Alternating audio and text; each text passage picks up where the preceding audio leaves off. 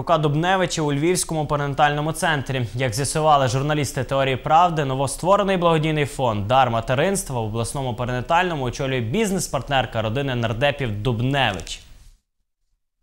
Благодійний фонд Дар материнства створили 45 днів тому. Зареєстрували на Джорджа Вашингтона. Головою дару материнства є Людмила Анатоліївна Миколайчук, яка разом із Наталією Дубневич, дружиною скандально відомого нардепа Ярослава Дубневича, є засновницями товариства науково-дослідна клініка біологічної медицини Ангеліка.